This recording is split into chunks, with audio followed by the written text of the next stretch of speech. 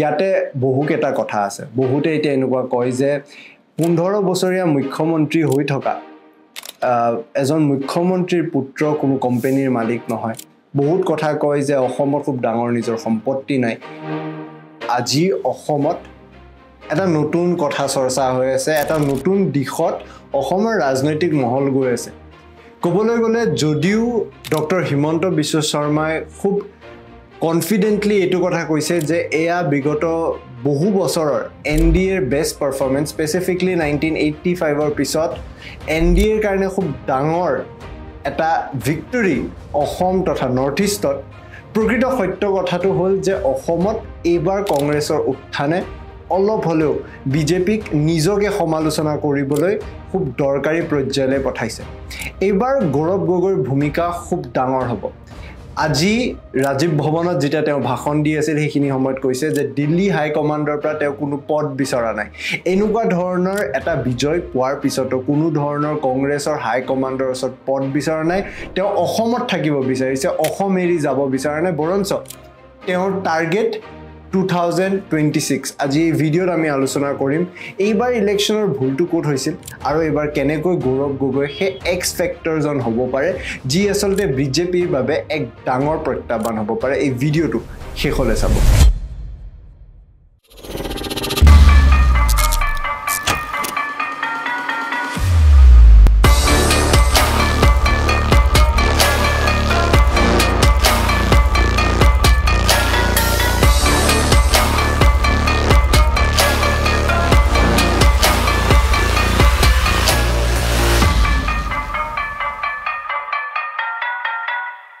ভাৰতীয় জনতা পাৰ্টী তথা অসমৰ মুখ্যমন্ত্ৰী ডক্টৰ হিমন্ত বিশ্ব শৰ্মা আৰু তেওঁৰ ব্ৰিগেডৰ বাবে খুব ডাঙৰ খবৰ এটা আছিল যেতিয়া যোৰহাটৰ পৰা তেওঁলোকে ভবা ধৰণে তেওঁলোকে লগা ধৰণে ফলাফল নাহিল।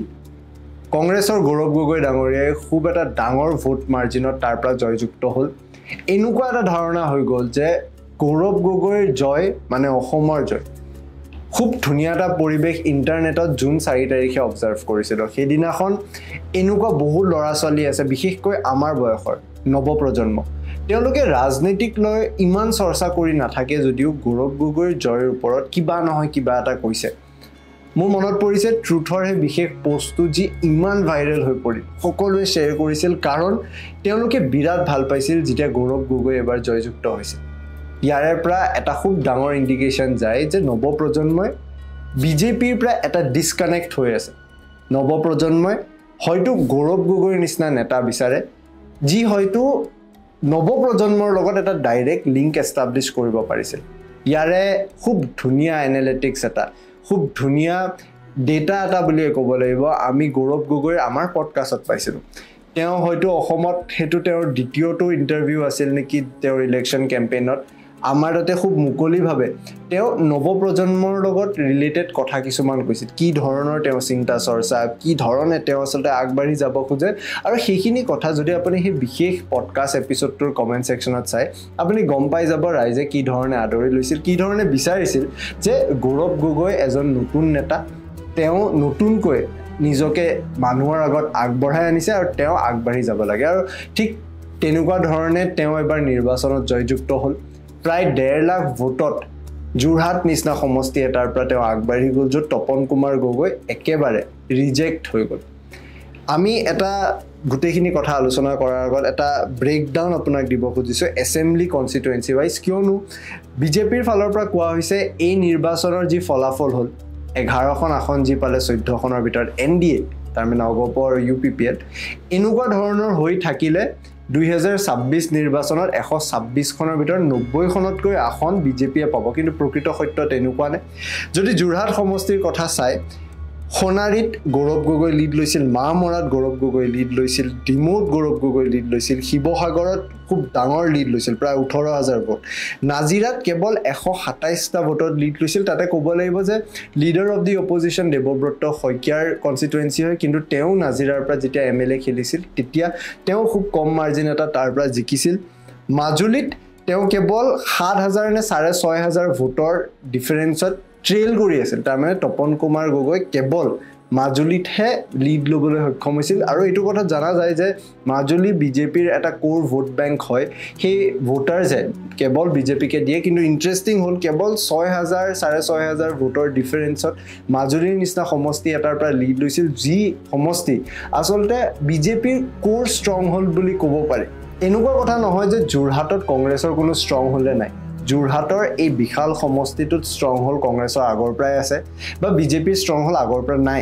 কাৰণ মৰিয়নিৰ কথা ক'লে থাওৰাৰ কথা ক'লে আমি নাজিৰাৰ কথা ক'লে শিৱসাগৰৰ কথা ক'লে এনেকুৱা বহু সমষ্টি আছে য'ত কংগ্ৰেছে ষ্টেট এছেম্বলি ইলেকশ্যনতো বিজেপিৰ ঢৌৰ মাজত খুব ধুনীয়া প্ৰদৰ্শন কৰি তাতে নিজে ছিট লাভ কৰিছিল। কিন্তু হিমন্ত বিশ্ব শৰ্মা চৰকাৰ অহাৰ পিছত দেখা গৈছিল ৰূপজ্যোতি কুৰ্মীকে ধৰি সুশান্ত বুঢ়াগোহাঁইকে ধৰি বহুতো নেতা বিজেপিলৈ যোগদান কৰিছিল। আজি এতিয়া প্ৰশ্নটো হৈছে এই গৌৰৱ গগৈৰ ফেক্টৰটোৱে কংগ্ৰেছক এটা নতুন লুক এটা দিবলৈ সক্ষম হৈছে এটা নতুন ভাৱ দিবলৈ সক্ষম হৈছে যে যি সময়ত আমি আলোচনা কৰি আছিলোঁ যে ভাৰতবৰ্ষত অপজিশ্যন নাইকিয়া হৈ আছে নেকি অসমত হিমন্ত বিশ্ব শৰ্মাৰ বিকল্প নাইকিয়া হৈছে নেকি গৌৰৱ গগৈ কোনোবা এটা পইণ্টত বিকল্প হৈছে বুলি আজিৰ সময়ত বহুতে ভাবে।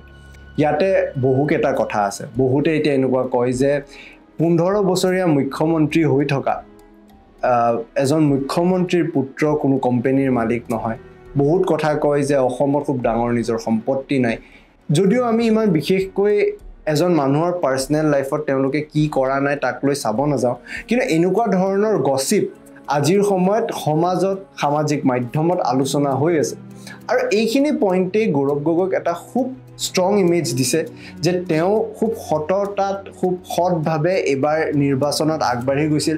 বহু সময়ত তেওঁ এনেকুৱা চিম্পেটিও পাইছিল যে গোটেই বিজেপিৰ ধন বল গোটেইখিনি লগাই মুখ্যমন্ত্ৰীকে ধৰি মন্ত্ৰীসভা গৈ যোৰহাটত যি সময়ত গৌৰৱ গগৈৰ এগেইনষ্টত কেম্পেইন কৰিছিল সেই গৌৰৱ গগৈ অকলে এই গোটেই ঢৌ নেওচি জয়যুক্ত হ'ল। এনেকুৱা হৈছে যে খুমটাইৰ এম এল এ মৃণাল শইকীয়াই অ'পেনলি আহি পেলাই কৈছে গৌৰৱ গগৈক কংগ্ৰেচুলেট কৰাটো ভুল নেকি?